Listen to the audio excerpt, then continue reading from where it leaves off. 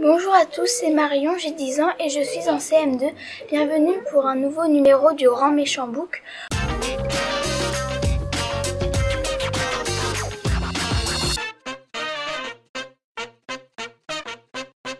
Aujourd'hui, je vais vous présenter le journal explosif d'Elisa Boom, écrit par Émilie Gall. L'histoire est anglaise mais écrite en français. C'est l'histoire d'Elisa qui adore les expériences à l'effet dans sa chambre avec son chien Einstein, mais elle en rate beaucoup. J'ai bien aimé ce livre car il est intrigant. Il a plein d'images et ça se lit vite. On peut le lire dès 8 ans. À bientôt pour un nouveau numéro du Grand Méchant Book.